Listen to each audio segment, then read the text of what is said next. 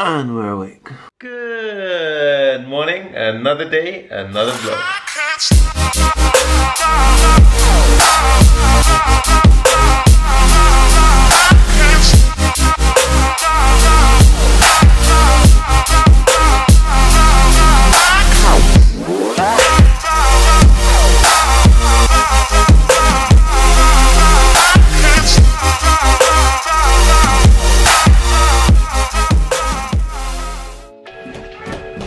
I am hungry, so let's cook up some food.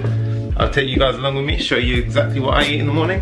So I'm trying to wake up earlier lately. Um, it's been about 6.30, 7 o'clock, but I'm going to sleep around midnight, so it still feels a bit rough. Trying to adjust, it's a good start. Uh, you guys should start waking up early, you get so much done. I know some people who wake up at like 1, 2 o'clock and the whole day's gone. The morning is your productive time, make the most of it. So this morning I'm having French toast and what I usually like to do is have two eggs and three egg whites so five eggs in total but that way you don't get too much cholesterol because if you're having five whole eggs every single day it's a lot of cholesterol and that is terrible for your health apparently. In five years it might be great for your health but I'd rather stay on the safe side so two egg whites three eggs. So what you're gonna do is normal egg cracks the eggs in so that's one that's two and then what you're gonna do for egg whites, simple. So you wanna just crack it like normal, split it in the middle, catch that egg in one of the side, and then you wanna just basically keep passing that yolk between the two shells. And while you do that, the rest of the egg's gonna fall nicely into the bowl. And then you just wanna put that in the bin. Do that twice more.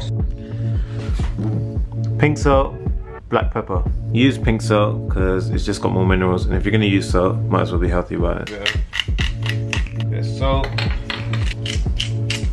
Just to whisk it. Then all you want to do is wholemeal bread. Just dip the bread in, dip it in both sides so it's covered. Warm up the pan. Spray some oil. Now I don't really like this one. I usually use the uh, Frylight, which is one cow per spray, but this is all we had at home, so I'm going to be using this till it runs out. So quick fun fact, why do we eat brown bread? So brown bread's a complex carb, so it digests slowly throughout the day, so the energy gets used as you need it basically. If you have white bread, it's a simple carb, and the difference between a simple and a complex carb is that simple carbs get digested quickly, and if you're not doing much, or you have a desk job for example, like a lot of us, then it gets stored into fat, and that's not what we want. So stick to brown, it's a safe bet, and I prefer the taste brown, a lot of people do.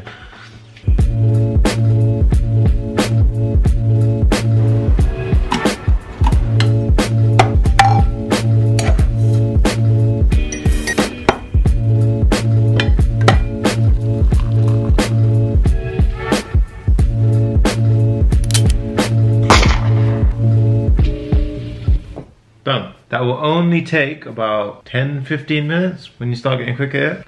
Who, who said it's too hard to cook? So today we're going to be talking about programming and why I believe that each one of you should get started straight away. The first reason why I think you should learn programming is it teaches you how to break down a problem and think logically about things. So think of a problem that you recently had um, and think about how you addressed it. So did you break down the problem piece by piece? Maybe you, you, the problem wasn't solved in the end. Maybe you pushed it to the side and, and left it to a later time. Programming is going to help you think logically. It's going to help you think critically. So it's going to help you break down things and tackle them um, in smaller chunks rather than addressing the situation as a whole. So when us programmers get a task or a challenge or a job, um, we we don't just hop on and start writing the code straight away. No, we look at the problem, we assess it, we um, break it down into pieces that are more manageable.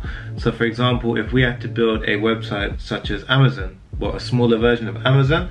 So we've got products, we've got orders, we've got customers, we've got a lot of different areas to develop. If I was to just start writing code for that, you're going to be all over the place. So you can't you can't take that approach, and that's the approach that a lot of people take to everyday problems. So the way you do it with programming is you break that up. So you're going to have customers on one side, you're going to have products on the other side. Uh, link the two with a relational database. Um, then you're going to have some front end development. So you're going to have the way the products are going to be listed on the screen, how the web page is going to look. Um, you're going to have the back end, so how do we hook up that, that nice looking front page to the database in the back. Then how do we get the orders processed and all of these different pieces. So you can see by breaking it down, we can then start coding it in a more manageable way. Number two, programming makes things easier for you. So let's think about a simple computer program. So let's say you have 100 documents and each one is an Excel file, for example, and you need to add up columns one, two, and three, and then get the average of each. So you can use formulas in Excel, right? Well, you can, but then there's a hundred files. So how can we do that without sitting there tediously going through each file and then it, you can see where I'm going with this. So a way of going around this is you can actually write a program that will do this instantly. It'll go through every single file and it'll do all that hard work for you. So programming can make troubling and tedious tasks become very simple and it can help you achieve a lot of things which you didn't think were possible. So the third thing is that programming teaches you persistence. So how many times have we run into a problem and let's be honest, we say, I'm done, I quit, there's no solution, I can't, I can't be bothered or you move on to something else because you think, oh no, I can't fix this. Well, programming is going to start teaching you to think in light of finding a solution. So what programming taught me is um, patience. So when you're trying to write a program, um, a lot of the times it's, it's a misconception that people think that okay you're gonna write a program and you're gonna write a thousand lines of code and it's all gonna work. Actually in most cases sometimes you, you may be writing only 50 to 100 lines of code or something small like that but it's taking you trial and error and trying again and again and not giving up to get that little piece of code working. And then when it works it feels it feels fantastic so the point is, programming is going to get you thinking logically. It's going to get you um, to stop giving up on everyday things. So just like you didn't give up on that program, you're not going to give up on everyday tasks. Uh, you're going to start thinking about how to break things down, how to troubleshoot, how to think about problems in a different sort of light. So before we get started, Steve Jobs once said, every person in this country should learn how to program a computer because it teaches you how to think. So on that note, let's get straight into it. The first question we need to ask is what language are we going to start with? There's so many programming languages out there. Sonny, which one do I use? You've got C++, you've got Java, you've got Python, you've got Swift, which is Apple's new language, you've got Ruby, you've got HTML, CSS, blah blah blah blah blah. It just sounds like a bunch of gibberish. But not to worry, there's a lot of easy languages also to begin with. And when I say easy, don't get that confused with not powerful. These languages may be um, less hard to understand, but you can just be as powerful with them. For example, Python. Python is a very easy language to pick up and learn, but it can be extremely powerful by writing a small amount of code. C++ on the other hand is a much more complicated language. Um, it's much more in-depth sort of, uh, you have to make sure all the syntax is correctly written. But again, it has its uses. For the purpose of these tutorials, I'm going to be teaching you guys Java. So Java, I feel, is a language right in the middle somewhere. So it's going to be just right to kind of get you guys thinking about how programming is and the main concepts of programming and object oriented programming and things like that and I'll be able to explain to you guys the fundamentals. Um, the reason I'm choosing Java is because I learned Java as my first language and I read a book and I pretty much taught myself Java. Um, and I really believe that you guys could learn it just as easy as that. But obviously not everyone likes to read, so I'm gonna make it interactive, I'm gonna make it fun, we're gonna have a few code challenges, and hopefully you guys can get engaged and you guys can talk to me and we can get this going literally it's going to be walkthrough tutorials that you guys can walk through side by side with me and you're going to see everything that I'm doing and hopefully at the end of it you'll be able to write a program of your own. So let's get started. Right so the first thing you, that you're going to want to do is install a IDE now an IDE is an integrated development environment and what this does is it's an environment where you can write code basically and it provides loads of different features and facilities which help you do that everyone uses an IDE. It's not a case of, oh, I'm, I'm new, so I'm using an IDE. No, nope. everyone uses an IDE. And um, the one that we're going to be using is Eclipse. And Eclipse is a well-known IDE. You can also run Python and things like that in Eclipse. You can also do web development in Eclipse. Eclipse has a really good set of features. Uh, it allows. It also has code completion. So instead of writing out the same bit of code again and again and again, it's actually going to provide you with useful little suggestions, which is going to fill that code up. For example, if you have a loop, rather than writing the loop structure again and again and again, which could take a bit of time writing out manually, um, you're just going to have to write the keyword and then press enter, and it's going to fill the body for you. So it's going to save you tons of time like that and it's also going to help you uh, identify where your mistakes are in code. So in Java, at the end of every line, you're going to have to put a semicolon, and you will not believe how many times during the learning process people forget that semicolon. So uh, uh, using an IDE like Eclipse is going to help you fix those small issues and those teething issues, you could call them. So jumping straight into it, what we're going to do is open up Chrome or Safari, whatever is your favorite browser. Then you want to go to the top uh, search bar and type in Eclipse. And then you see Eclipse downloads, click that.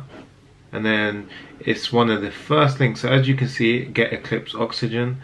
And you want to click download. And what that'll do is I'll take you here. Click download. So I'm doing it for a Mac, however, it's, pretty much the exact same sort of installation process for Windows. So you're going to follow the same steps as I'm doing right now. So once that's downloaded, click show in Finder, double click on the download file, and you'll see Eclipse installer. So you want to click and click open. Let that start loading up.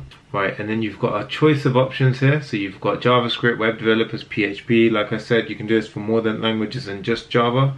Um, but what, what we're going to focus on is just purely Java development. So the top one, Eclipse IDE for Java developers, you're going to give that a click and then choose your directory it should be fine the one that's, uh, that's set by default click install so I'll be right back once it's finished right so once that's done you want to click on launch you can close down Chrome.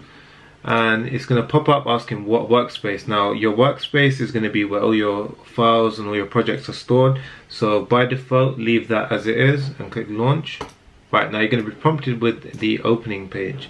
So what you want to do is you already have a few tutorials and a few options here but we're going to start a new Java project from scratch. So click create a new Java project so for the project name we're going to call it my first project and then you're going to click finish and you can make this full screen if you'd like so here is Eclipse so we'll slowly get to terms with what each of the sections are. So we have the package explorer on the left. So if we click this little downwards arrow and we click source, this is where all the code's going to be stored. So don't worry too much about JRE system library yet. We're going to get into that stuff later on down the line. For now, all you need to know is the basics and the fundamentals. So to get started, we're going to click on File and click New and click Class. And then what we want to do is call this hello world. So it's good programming practice to start classes with a capital letter and then for every word where you would usually have a space, you don't have a space but instead you have another capital letter. And that's called camel casing and you definitely want to start getting used to writing um, your code like that. But only for classes you start with a capital letter. So keep that in mind for later on. Um, so for this tutorial, as we're doing a our first class, you want to tick the main method box. And I'll explain that in a later date, but for now, just click finish. And you have your first code template. So here you can see it's generated the class hello world and you have this method, so it's a function here um, called main. And main is actually the first method that is run when the program is run. So uh, when we click run, so when we click up here on this run symbol, um, it's going to run our Java program and the first place it's going to go to is wherever the main function is. So in this case, it's going to go to hello world.java and then to the main method here. So don't worry if things aren't making sense, just to get us introduced into the Java environment and things like that. So what you want to do is write system, so capital S, system dot out dot print ln and then open and close brackets and then end that line with a semicolon. What this line does is it prints out a statement on screen. So in this case, it's going to print out what's inside the parentheses. So what you want to do is have double air quotes and you want to put inside hello world like so.